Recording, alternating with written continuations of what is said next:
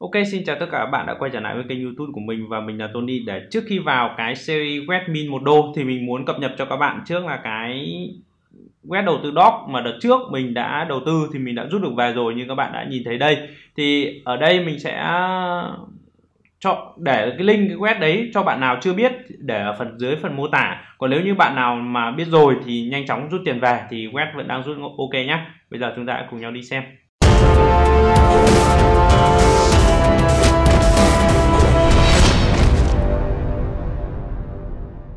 Tư bằng doc thì nó sẽ khó để nhìn hơn là so với việc đầu tư bằng đô. Đâm ra cái web này thì chắc là nếu như bạn đang, nào đang đầu tư thì đã biết rồi có thể rút được tiền về. Ok. Thì bây giờ chúng ta chuyển sang web min một đô. Thì đối với web min một đô thì mình có thể rút bằng perfect money, hay bayer, các bạn để nhìn thấy ngay. Nhưng đối với những web min một doc ờ, đầu tư bằng doc hoặc là đầu tư bằng tiền ảo nói chung thì các bạn cần phải xem clip theo kiểu như vậy. Nó rất là phức tạp và khó khăn. Đâm ra thường hay là mình sẽ sử dụng bằng đô la để các bạn nhìn thấy đó cho nó nhanh nhé. Ok. Thì ở đây, như các bạn biết là những web này mình thường hay đầu tư, nó cũng giống như cái web kiểu đó thôi thôi. Thường hay đầu tư là nó mới ra, running không ngày đây. Số này, bây giờ chúng ta xem có người Việt Nam ở trên này không nhé đây, bạn Bảo Khánh đã nhanh chóng vào. Những cái web này thì thường người Việt Nam nhanh tay lắm. ok các hệ thống perfect money bitcoin payer vẫn như mọi khi không có gì là đặc biệt. Để chúng ta đăng ký. Giao diện cũng không có gì là quá đặc biệt. Ừ, cũng như mọi khi thôi.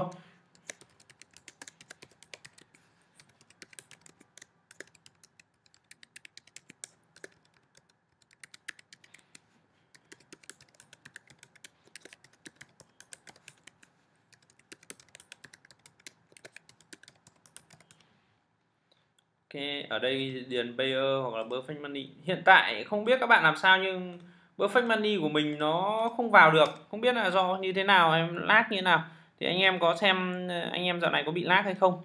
Thì comment ở phần mô tả bên dưới nhé. Ok, xem lại này. Rất là nhanh chóng thôi. Đây, rất là nhẹ nhàng.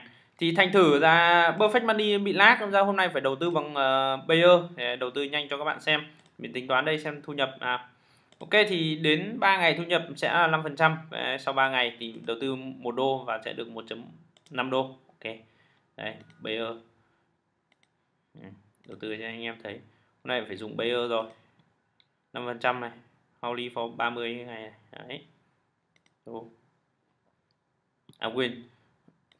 Đổi ru ra thì chết đòn. Đô. Nhầm. Ok confuse À, những cái kiểu quét như thế này là những quét mạo hiểm và cũng không dành cho các bạn mới chơi. Nếu như các bạn mới chơi thì các bạn lưu ý là phải xem lại tất cả những clip cơ bản mà mình đã hướng dẫn thì các bạn mới có thể chơi được. Còn các bạn đừng có cố hỏi mình là quét nào uy tín.